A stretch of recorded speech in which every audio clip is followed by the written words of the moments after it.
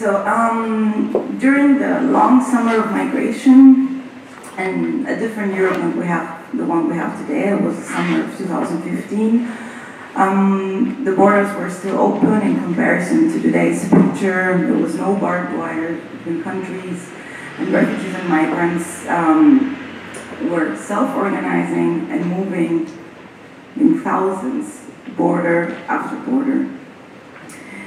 Um, in all the diversity, uh, there were people um, joining across nations and marching towards freedom or towards hope. In most of the um, of, of, the articles you will find from solidarity movements, these marches of refugees are called marches of hope. Um, let's start uh, now with a, uh, just to set this straight, we're talking about two different movements, the movement of migrants and refugees, so-called newcomers, and the solidarity movements. There was a time where these two merged, but it was not like this, and it, not, it should not be considered uh, as the same thing. On the one hand, again, uh, the newcomers organizing around the hope of, hope of a life and dignity in Europe, and on the other hand, their determination, fact that they were putting their bodies first, were not hesitating um, and not, uh, not afraid of crossing borders, whatever that would mean, inspired people around the region, Balkan route, to Greece, but also Northern Europe, to stand with them. So um, a question that I would like to leave in the space, just hanging, uh, would be what was what was really inspiring? Was it the fact that migrants and refugees were putting their bodies in the front? Was it uh, the idea of uh, uh, a European society that would be able to provide for these people and work welcome these people? Um, so we have these two fundamentally uh, different but fundamentally solidarist movements um, developing around Europe and especially along the route. Um, the migration route from Greece up into the Balkan uh, Peninsula and until the very edges of Europe. Uh, this merge that happened between these two movements um, happened in praxis. Um, border after border, uh, the receiving communities were not prepared for the masses. They were not prepared for having uh, thousands of people overnight camping uh, just around the village or around the corner. So um, people had to come together. They were forced by the situation to overcome all kinds of borders, not only physical and national borders, but also linguistic borders, um, and uh, uh, let's say political borders in many cases. Um, in all this this time, um, just to set it uh, plainly with the dates, we're talking about last summer until November uh, 2015.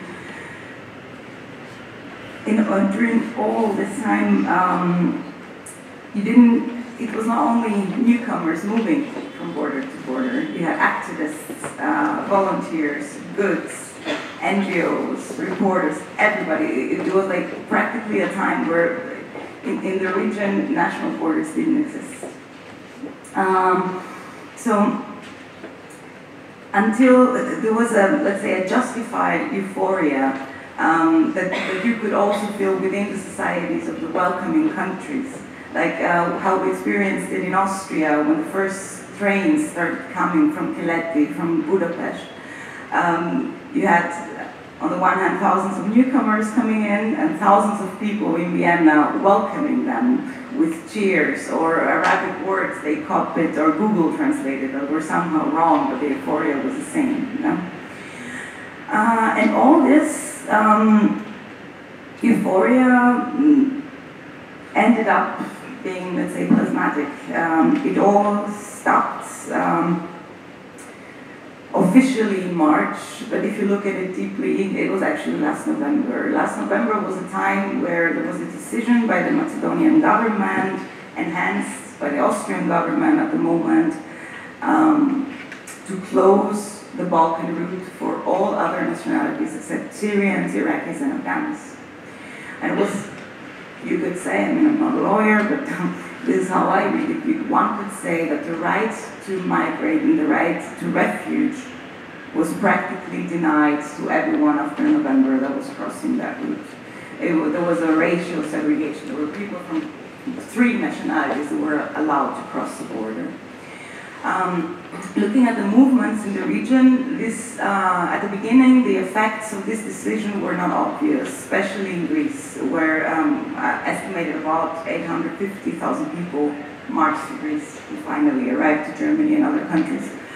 Why? Because the non-Sia, Sia we call Syria and Iraqi Sudan, the non-Sian people only made up about 4 to 10% of the population moving at the moment. So um, there was not an immediate reaction um, to this decision from the side of the civic movements. The, there was not an immediate reaction to the fact that the Geneva Convention was practically ignored in the Balkan route. And we had to pay for that, uh, we had to pay for that um, a heavy price, and three months later the Balkan route closed completely. That was then in March. After March, nobody else was allowed to cross. Uh, the militarization of the borders uh, in Europe um, happened uh, in the pace of an avalanche. It was uh, border after border, fence after fence. Things were coming, were becoming um, more difficult. And right now we're in a situation where there are border controls all over the route, but also within European countries uh, like Austria and Italy, or Austria and Hungary. So um, in this, um, let's say in this uh, situation, um, if we have to, if, we want to analyze the situations, there are three, four different factors we have to look at. Uh, first of all, um, and the most important uh, on my view was the response of the civic society, um, the NGOs, and the political activists. Uh, three phenomenically different actors uh, that actually joined, joined forces, and they were able to act to help these people. Um, now, how did this work? My hypothesis is that it worked as long as the emergency was there, as long as the, open, the, the borders were open, as long as these people were moving, uh, I mean, newcomers now were moving into thousands, were holding together, had their own movement. This cooperation between NGO, civic society, and activists seemed to work just fine.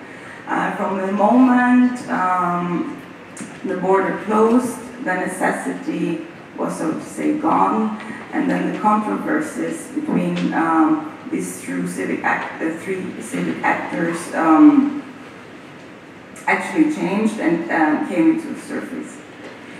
Um, one minute. That's. Okay.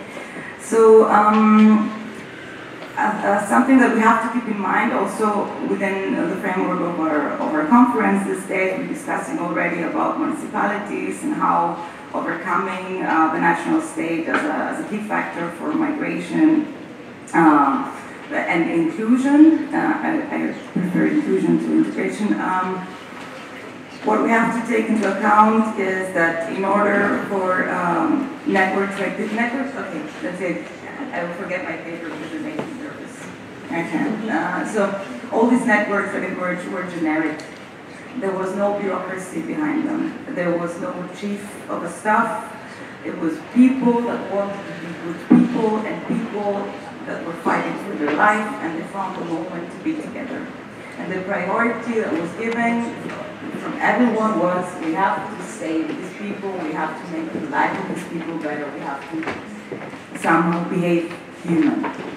So if uh, we want to discuss the, I don't think that there is going to be a master plan on how to tackle the situation, but what we have to do um, on the side of the movements is, is, always keep the channels of communication open.